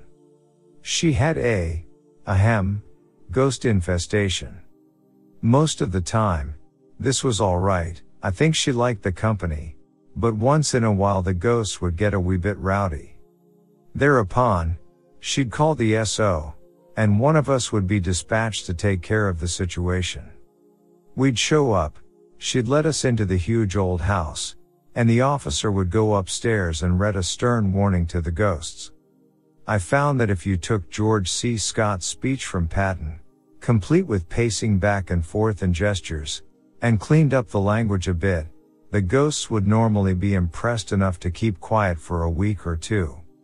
Once you were done, you'd go back downstairs, where the lady would stuff you full of homemade cinnamon rolls and iced tea, and you'd swap gossip for a while. One day, the sheriff gets a bright idea. We'd take care of this situation once and for all. Plans are made. People are notified. We waited for the call. And on a Friday evening, she calls. Not only are the ghosts rowdy, it sounds like they're having a party. And, delivered in whispered tones, she thinks she heard some girl ghosts giggling up there, and this wasn't right. The call goes out. We load up our full-time officers, all four of them. We get our reserves, mostly security from a local federal facility. We don our ninja gear. We mount our trusty steed, reworked, Korea era ambulance, and we sway and sputter and backfire and shudder and creak our way over hill and through dale. Once on location, a hasty whispered conference takes place. Who looks the least threatening? That would be yours. I truly had hysterics in the back. I go up. I knock on the door. I tell the little old lady that we're here to solve her problem and seat her on the porch swing with a blanket. Crash. 20 SWAT rhinos in full gear hit the door, clear the bottom floor tactically, flow down the stairs, and then the shouting starts. Hey you. Yes you. Out. One here. Out, out.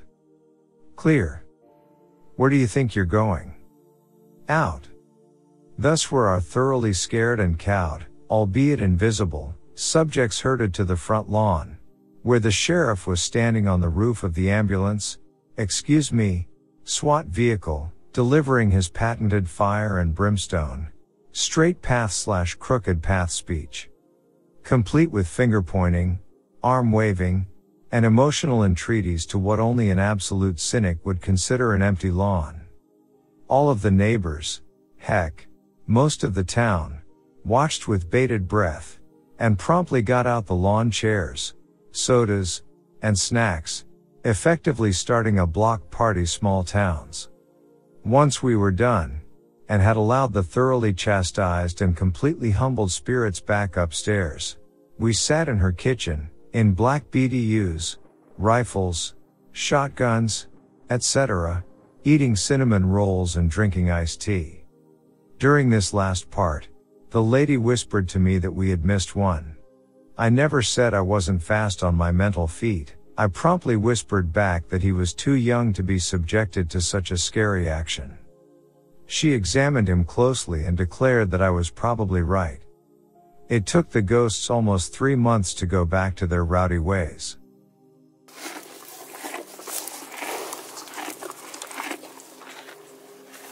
My husband and I went to a state fair, and someone stole my battery out of my car, a 67 Valiant. The security were off-duty cops, and one worked part-time at a parts store. So they were pretty cool and took us to get a new battery after hours.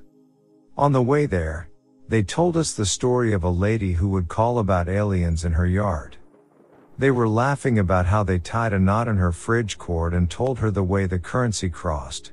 An alarm would sound if any aliens came within 100 yards of her house said they never heard from her again. I wonder to this day whether or not the aliens got her since she was lured into a false sense of security.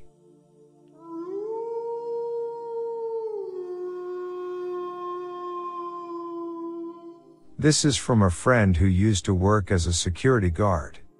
My friend is a night person, so he's used to night shifts. Well, anyways, one night he's working to guard a mansion.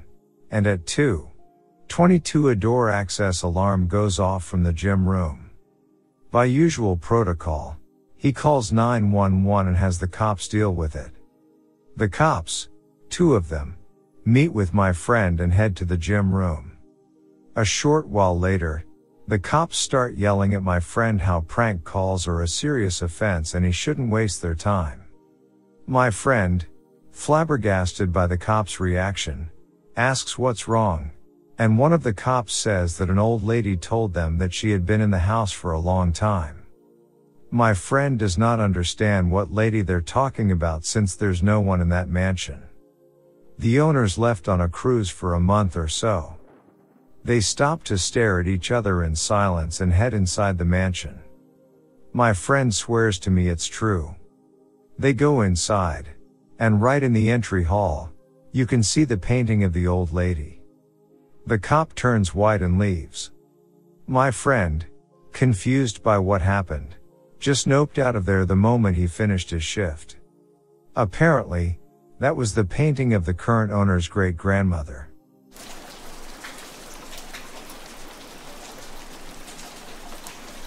I was doing security at a hospital with an ER, ICU, surgical suite, the whole works, and I got called to several paranormal calls.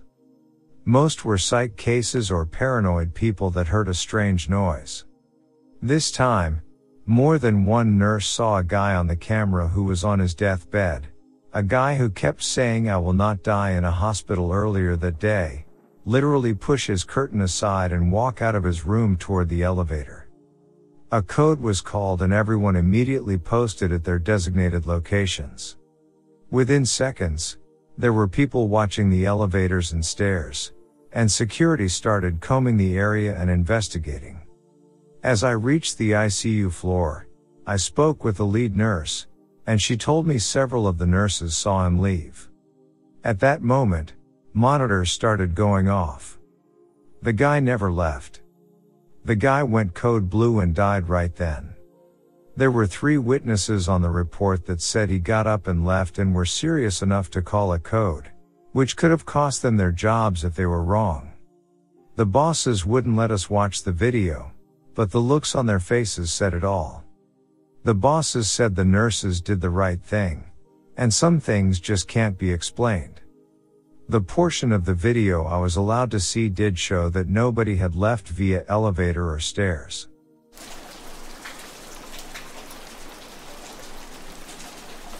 Not a cop, but during a ride along we were dispatched to this house for a domestic disturbance.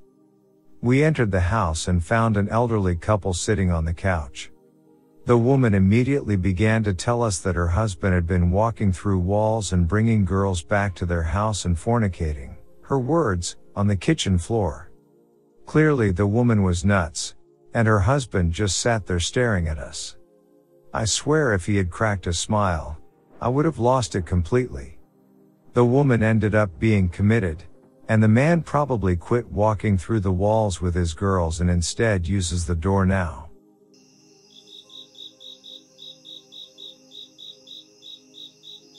A Navy Security Forces member here this will probably get buried, but oh well. I was on shift with a DoD police officer on the oldest Navy base we have in the States. We get a call about an alarm going off in a nearby office and it being midnight. We quickly get over there.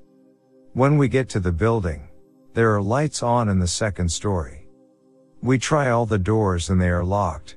We try the windows locked. We look for any possible entryway and everything is sealed up tight.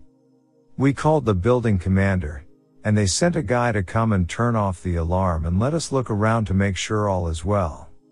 When he got there, his first statement to us was, alarm going off again. Damn it, I'm sick of that ghost messing with my days off. Apparently, everyone that works in that building has claimed there is a ghost that likes to move stuff around and cause the alarm to go off. And a check of the call log for the alarm activation showed that every time it went off, the building was locked up tight.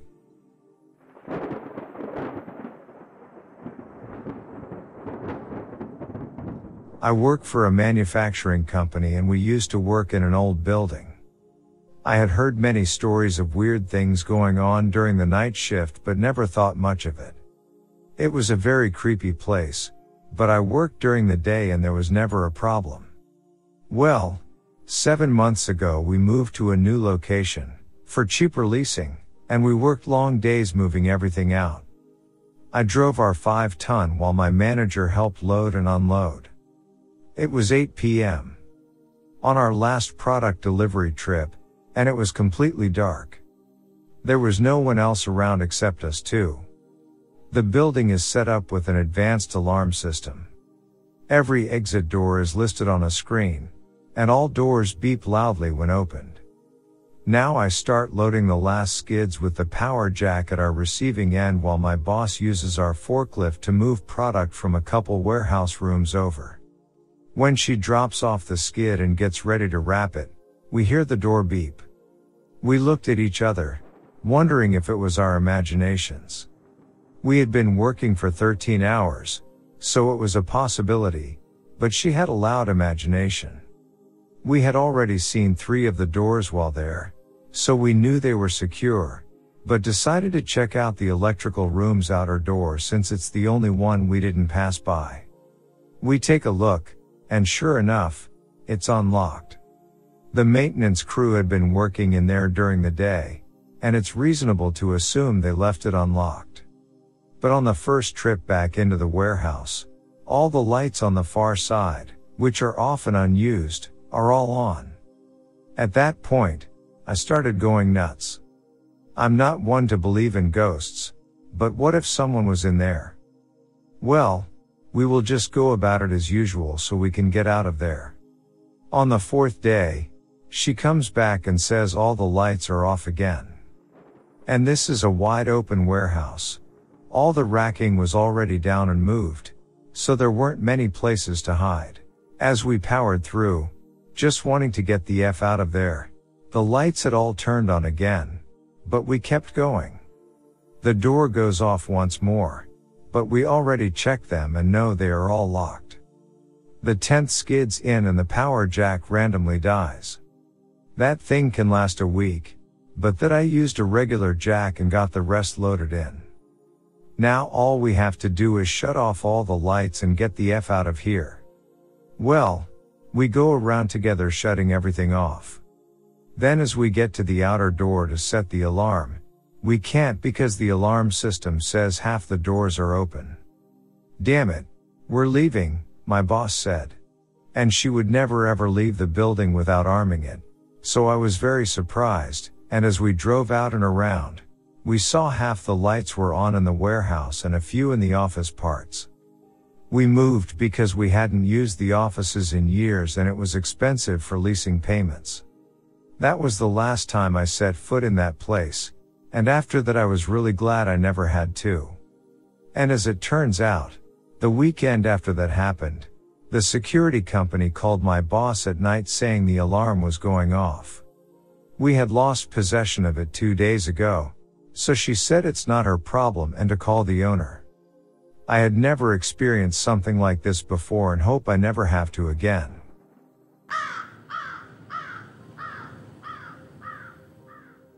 I was about five years old when my parents moved us out into this trailer on about two or three acres of land. My room was at the far end of the house next to my sister and was only about 20 yards away from the forest. Anyway, on a few nights I kept hearing a scratching sound, almost like nails on a chalkboard. So I woke up my dad, and he came in and verified that I was batshit crazy and went back to bed. This went on for about two or three weeks until one night I was listening to the scratching when it suddenly stopped and my toy chest started moving away from the wall. I ran down the hall and got my dad, and he reluctantly came to my room to check it out. When he flipped on the light, he saw a woman's head, looking like a crazy Gene Wilder, sticking through my wall where my toy chest used to be. She screamed at the top of her lungs, not like she was scared but like she was trying to scare him. And proceeded to pull at the trailer wall and try to crawl through the hole. He locked the door and called 911. The cops came out and arrested the woman who was stuck halfway in the wall and bleeding all over the place. She had apparently escaped from a mental facility four miles away and had decided to burrow into the house at night.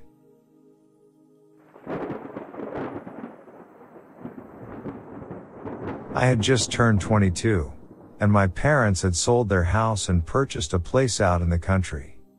On the property, there was a big shed not far from the house that I decided to turn into my place. Now I felt kind of uncomfortable in the shed sometimes, but my dog kept me company, so it wasn't so bad. Anyway, I had been in there maybe two weeks and one night I'm on the computer, my dog asleep at my feet, and I need to pee, so I get up and go outside to piss. It's a beautiful clear night and the stars are incredible. Next thing I hear the shed door slam behind me. I turn immediately and try to open it, but it won't budge. Now from inside the shed, I can hear my dog start to growl, quietly at first, then louder. Now he's barking and I'm panicking trying to get the door open. I must mention that I'm 6 foot 5 and well built, play sports etc. But even ramming my full weight into the door won't open it and I'm really panicking now as my dog's barks turn into whines, then whimpering, Then silence and with all my might I slam into the door and it flies open. The light is off inside now and it's pitch black. It won't turn back on and I'm in complete darkness. I can't see my dog anywhere and I stumble around trying to find a torch. Finally, I find it and pick it up and turn on my flashlight, but I wasn't prepared for what I'd see next. My dog had literally squashed itself into the furthest, darkest corner of the room, eyes closed, and was shaking violently. I immediately moved towards him, and as soon as I got within reach of him, he leapt at me into my arms and wouldn't move. I picked him up and I swear I've never run so fast in my goddamn life. I never stepped foot in that shed ever again. And my dog wouldn't even go near that part of the property. I don't know what happened in that shed that night, but I'll never forget it. I avoid sheds now.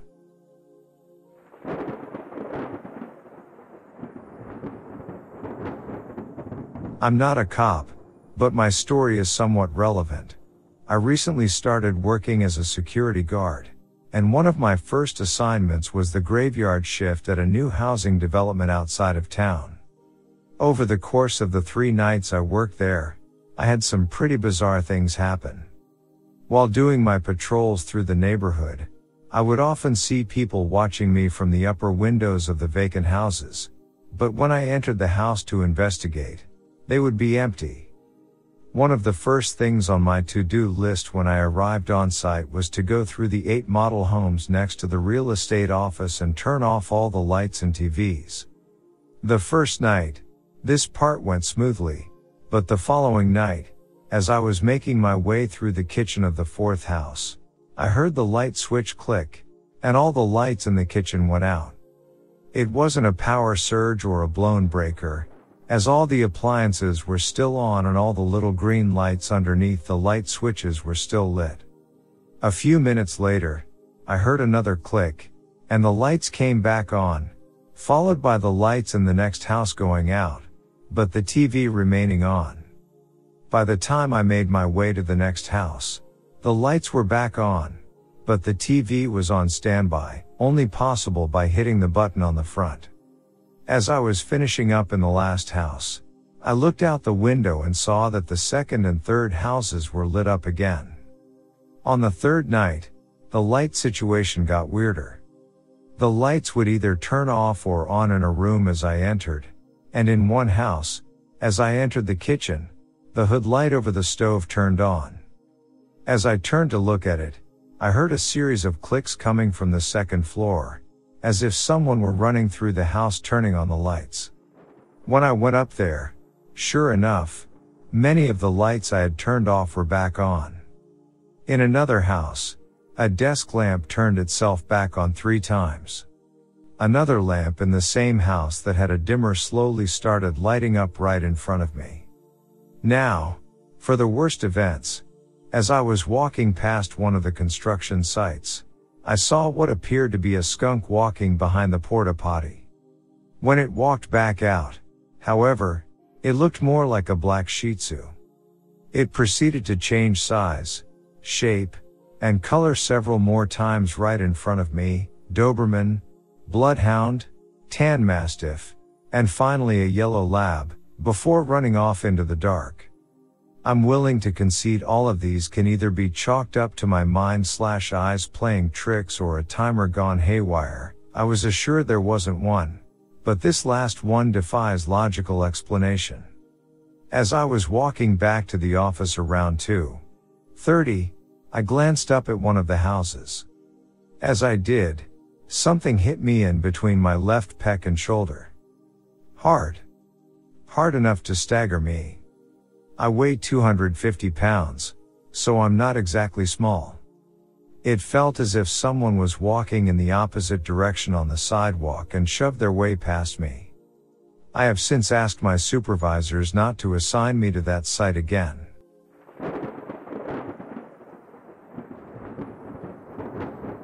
First off, I don't believe in ghosts or the supernatural, in any way, shape, or form. That said, I had a few very strange experiences working at the hospital. I have tons of stories about working at the hospital, but I'll post one of the strangest. If you want to hear more, let me know. I have dozens. The hospital was made up of several buildings, mostly from the mid 20th century.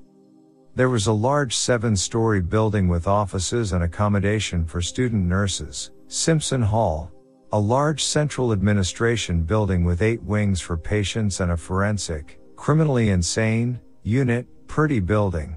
A new building under construction to replace the old Victorian building, Mount Hope. A building with a gym, kitchen, dining room and swimming pool, Hugh Bell building. Two small outlying buildings for children and adolescents, POW and MCU. And then, the old insane asylum, DeWolf Building. Built in 1856. 20 ceilings. 200 pounds oak and steel doors. 18 to 24 thick walls. Underground tunnels. Everything you've ever thought an old Victorian insane asylum would be. When I first started working there, in 1992, my job was to go from the guard post in the Hugh Bell building, down into the basement, Unlock the steel doors leading to the tunnel system. Lock myself into the tunnel system. Walk along to the DeWolf building. Go through another set of steel gates. Lock myself inside. Walk the tunnel system to the end. And then go up in an elevator I called down using a special key. Then I'd go up to the fourth floor and walk through each floor, checking doors until I got to the main floor where I'd walk out of the main entrance and back to the Hugh Bell building outside. I had to do this roughly every hour. In 1995, the building closed and patients were moved into the new Mount Hope building. Because the space was no longer being used and because the building was slated to be demolished in 1996, they didn't bother heating it. It had no power. And maintenance had been through and stripped it of things like light bulbs, etc. A lot of the old furniture was left in place as they had bought new furniture for the new building. One of the things that also happened was that they shut off power to the elevators and had all the phones removed. Now I know that every phone was removed because I was the guy who went through with the guy from the phone company in late summer and removed every single phone from the place. So it's the winter of 1995 and I'm working a back shift, 7 p.m., 7 am. I was a shift supervisor and had three guards on the ground with me and one locked in the forensic unit. At around 2 am, we got a call from the hospital operator saying that the police had called her to let her know they were getting calls from inside the DeWolf building.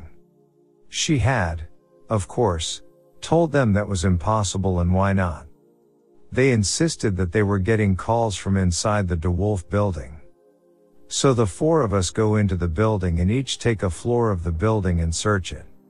Now it was the dead of winter and temperatures had been getting fairly low, 20 C or so, and there had been a pipe burst about a week before which maintenance had dealt with. Interesting story there, too, but it had left two floors entirely coated in ice. There was ice on everything that was about three inches thick and shadows were bouncing everywhere from the flashlights hitting ice. So we're walking through the building, checking every unit, every floor, eyeballing every empty phone jack. Nothing. We get back to the guard post and report that the building is empty. Ten minutes later, the operator calls back and says that there are more calls coming from DeWolf and the police are insisting we find the cause. So, back over we go. I was about 10 away from the nursing station on a unit called N16. And the operator called to say that there was a call active right now coming from the N16 nursing station. I go rushing over to see and there's nothing in there. No person, no phone. I tell the operator where I am and there's nothing in there. She says that it's now coming from the N16 lounge, which is way down at the other end of the unit. So I go rushing down there and, again, nothing. Now it's coming from the N16 elevator phone. And this time it's not just dead air, but it sounds like someone talking with their hand over the phone. So I go rushing back down to the other end of the unit. This is a good 60 seconds or so of running big building, and I'm standing outside the closed, unpowered, elevator doors and she is saying that the calls are coming in every few seconds from the elevator I'm standing in front of. Then they stop. We all decide to wait inside the building, one person per floor, for a few minutes until we know things have stopped. We waited maybe 15 minutes, and as we started to leave, the phone calls started again. One more trip around the building and the same results. Eventually, we said we couldn't waste any more time on it and it must be a technical glitch. The operator puts in a call to the phone company and requests an engineer first thing the next morning. I was supposed to go home at 7 a.m., my last back shift, so I was starting four days off, but I stayed to meet the engineer because I was curious. The engineer said the lines had likely been reassigned and the calls were coming from real people wherever the lines had been put. So we go into the old building and check the junction box, and the engineer gets a puzzled look on his face. He hooks up some equipment and is talking back to someone at the phone company. He starts checking connections and numbers. Then we started walking around the building and plugging his phone into the jacks. It turned out that none of the lines had been reassigned and they were all live. Here's the strange part. That day, the engineer and the phone company killed all the lines. The phone calls continued off and on for two more weeks, and then stopped. We never did find out the cause.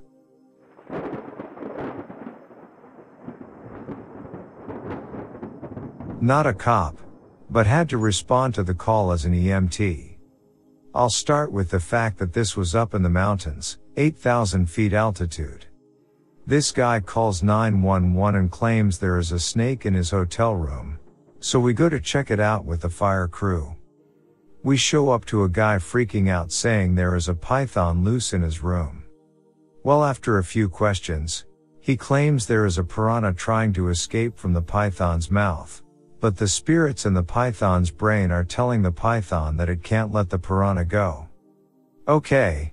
Now we know something is wrong with this guy. We walk in the room to find a rolled up towel sticking out of the bathroom door door.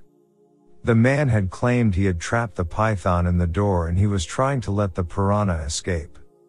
We found acid and heroin inside of the rolled up towel. Dude was having a great time until the towel stole his drugs. More drug induced than paranormal. But the dude thought his towel was possessed.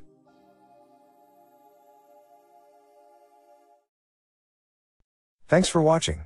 Be sure to subscribe for daily stories. We at Horror Den of Misfits really enjoy this, and your support would be appreciated.